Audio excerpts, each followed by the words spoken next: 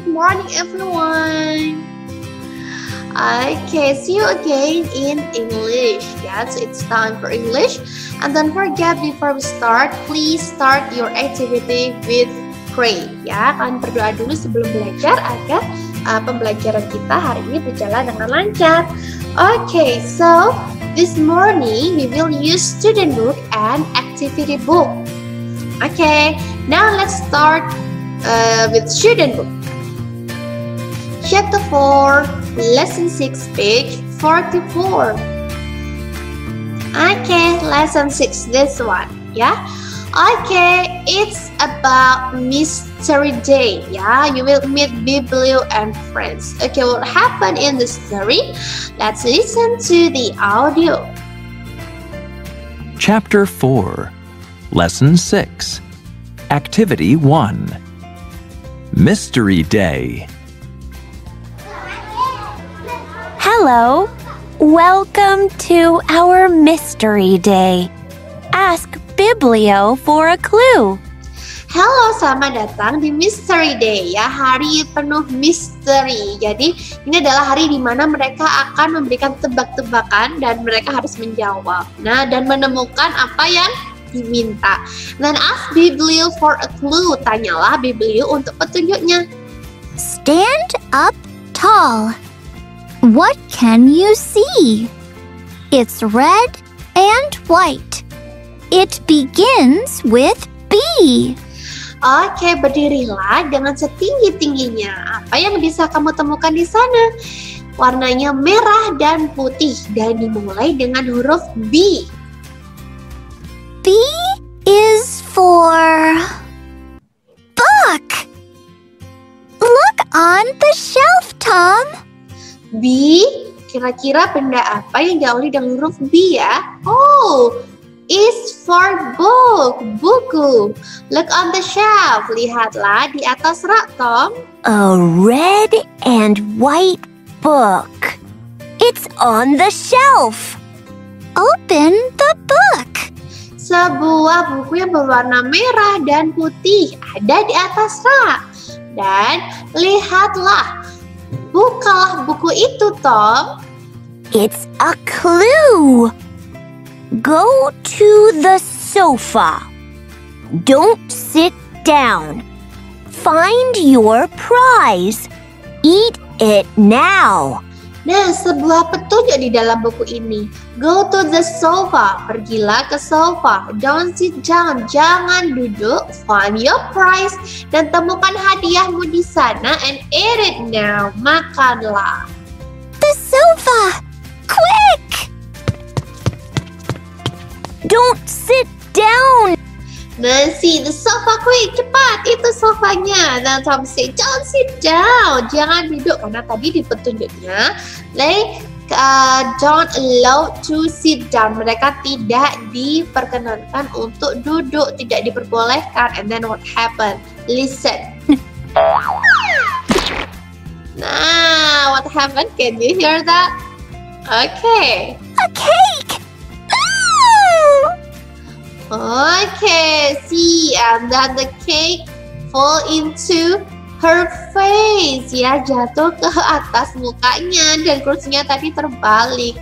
Okay, so here let's go to the grammar central corner first. Kita ke sini dulu ya. Okay, so here we are going to learn about the opposite instruction. Jadi kebalikan dari instruction. Oke, okay, perintah. C, stand up. Ada kata stand up. Stand up is berdiri. Don't sit down. Jangan duduk. Nah, so if you want to give opposite ya, you can uh, add don't. Ditambahkan don't di depannya. And then open the book. Nah, ini jika kalian memerintah open the book. Nah, kebalikannya apa? Don't open the book. Nah, kalau stand up kebalikannya apa? Don't stand up. Jadi hanya ditambahkan depannya saja.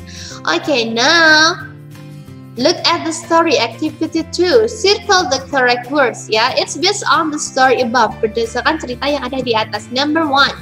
Stand up or don't stand up tall. Okay, look at the second picture. Nah, like this. Temukan di sini. Stand up or don't stand up. Circle the answer. Number one. And then number two, what can you see? Nah, apa yang kalian lihat di atas rak? What can you see? Okay, the color is red and white. A blah blah blah. Yeah, I will give you a clue. Okay, a blah blah blah. Yeah. Then number three, sit down or don't sit down on the sofa based on the clue. Dari clue-nya tadi, you have to sit down or don't sit down. Okay, circle. And then number four, the prize begins with blah blah blah. Hadiahnya dimulai dengan huruf apa ya? Look at here. Now what is it? Nah tadi aja tuh kemukanya apa ya? And it start with Nah, itu apa dan kemudian kata itu dimulai dengan huruf apa? B, C, or E. Okay, easy?